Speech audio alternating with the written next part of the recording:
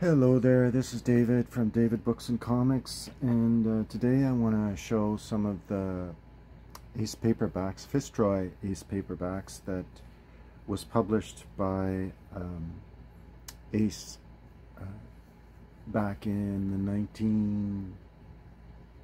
1960s, 50s and late 50s and 60s.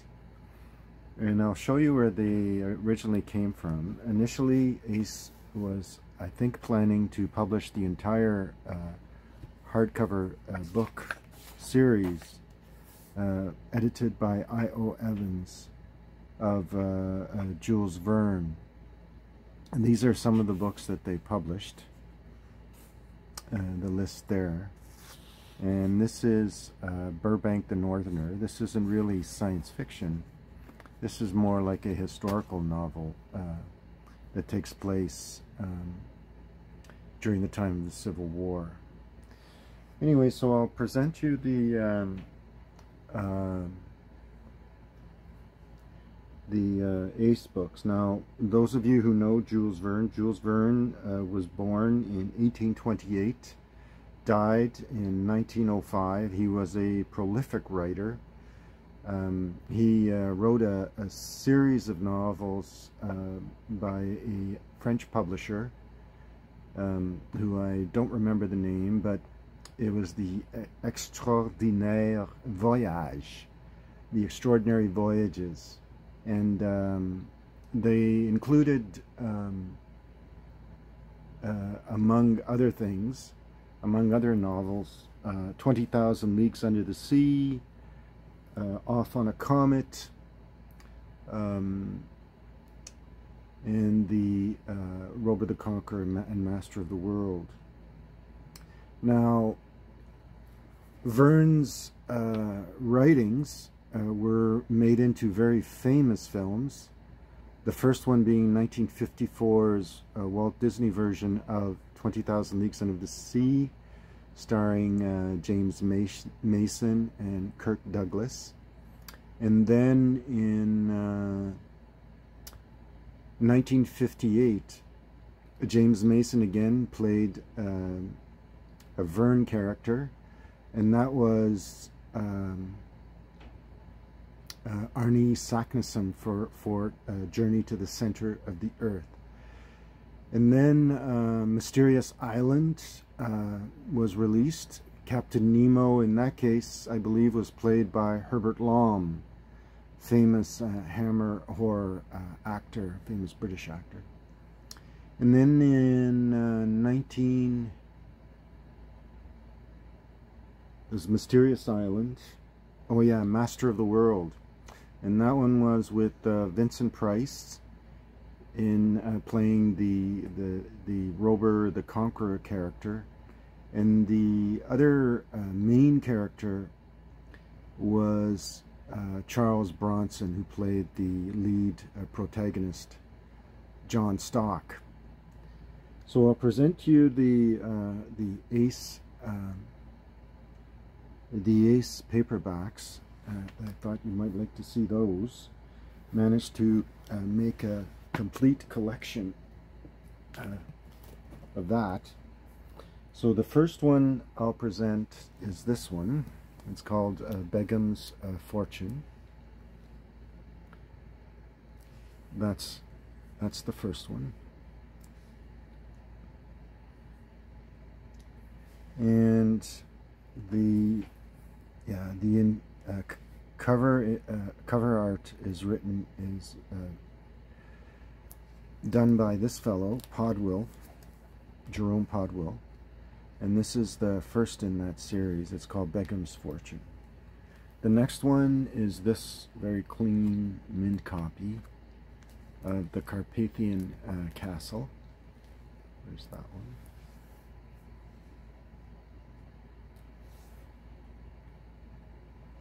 And this is the first that we collected. This is City in the Sahara. And we can look inside. And there's uh, translated from the French by I.O. Evans, one of the better translations. This is book two of the Barsac mission. Uh, there you go. Jerome Podwill did the cover art. The sketch is Ron Miller, and that's the sketch here.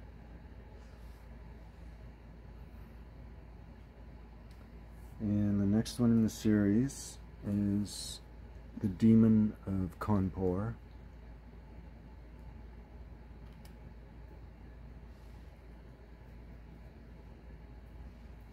Sorry for the glare. It's the Demon of Cawnpore.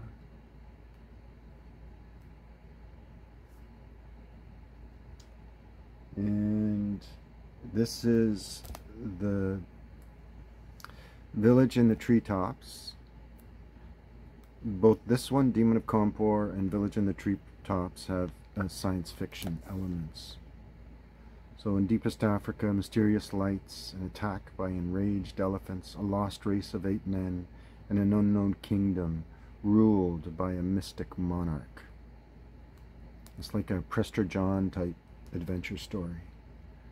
Can this action-packed jungle adventure be a novel by the famed Jules Verne who foresaw the submarine and the airplane? Or is it more likely to be the work of Haggard, or even Edgar Rice Burroughs. But Village in the Treetops is indeed Verne. So there you go. Village in the Treetops. The next one in the series is this one, and it's For the Flag.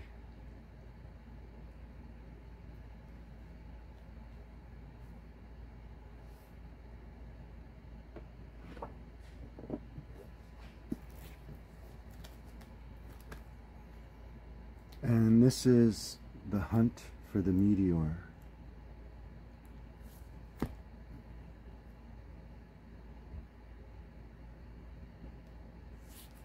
This is when the uh, Fitzroy editions are uh, one of the better of the English translations of uh, Jules Verne. There was a tendency among translators, English translators of Verne's works, which were originally written in French, to uh, skimp and uh, edit away the scientific elements of his stories, um, undermining the quality of his work, obviously. So there's The Hunt for the Meteor.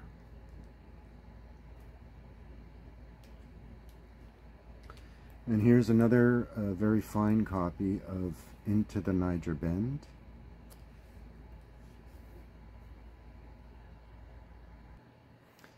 And the next one in the series is uh, Tigers and Traitors.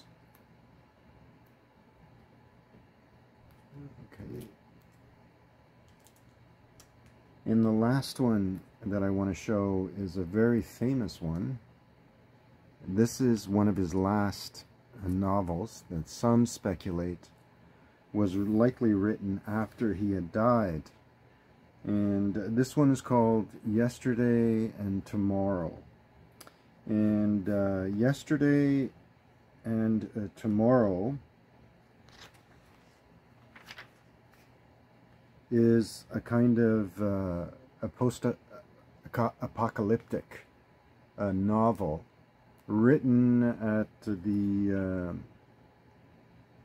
dawn of uh, not at not at the dawn, but at the end of human existence, and uh, it features uh, some very um, pessimistic kind of views of where science and where humankind is is is going, similar to, in some respects. Uh, has some similarities with H.G. Uh, Wells' kind of view of humankind in uh, the time machine. So this is the the last novel that he wrote, Yesterday and Tomorrow, and this is the um, there were ten uh, paperbacks in all of the uh, the Ace books uh, published of uh, Jules Verne's writings. Some of them have the elements that you would find in his more famous works, like uh, 20,000 Leagues Under the Sea, Around the World in 80 Days, and um, um, Mysterious Island and, and, Master of the World. but um, by and large, it's really the uh, the covers and the uh, translations of his works that are that make this uh, Ace book series well worth uh, collecting. Okay, so I hope you enjoyed this little short foray into uh, the works of uh, Jules Verne. If you did, remember uh, to give me a like. Thanks everyone who has subscribed. And uh, feel free to comment and offer your own ideas. Jules Verne is probably one of the most influential uh, writers that contributed to what later became known as science fiction.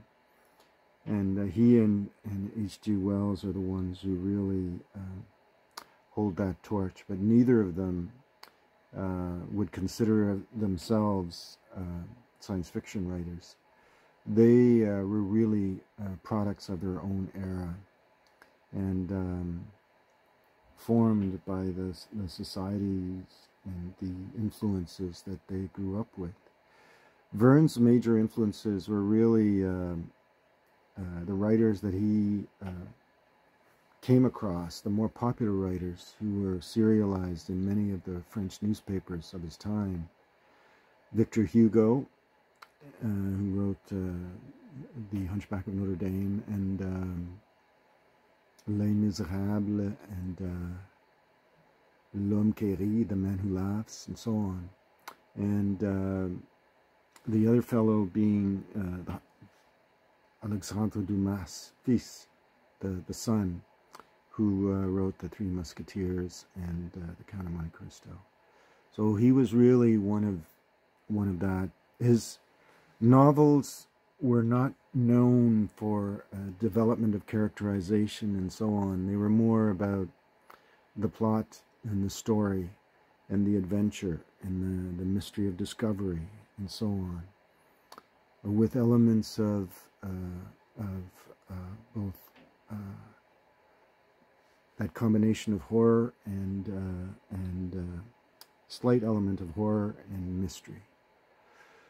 So there you go. That's Jules Verne, the uh, one of the progenitors of what we could call modern science fiction. Okay, thanks for watching. And uh, feel free to uh, comment. Thanks everyone for subscribing. And, um, and if you like what you saw, remember to uh, give me that like. Okay, thanks. Bye.